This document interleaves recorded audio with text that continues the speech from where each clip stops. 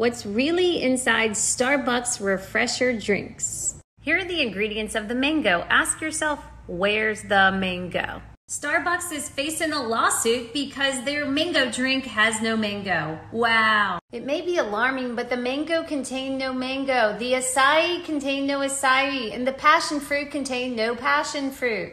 You guys, my name is Jen Smiley. I am the food coach here at Wake Up and Read the Labels. I want to let you know that the food industry is putting chemicals in your food to make it taste good, but it's causing inflammation. This cereal says naturally fruit flavored. Do you notice there's no mention of any fruit? It's happening everywhere. We think we're eating healthy, but we're eating chemicals. When you start discovering foods made with real ingredients, look, one of our clients lost 15.6 pounds in one month. Feels amazing, all from eating clean food. Download three common morning foods that are killing.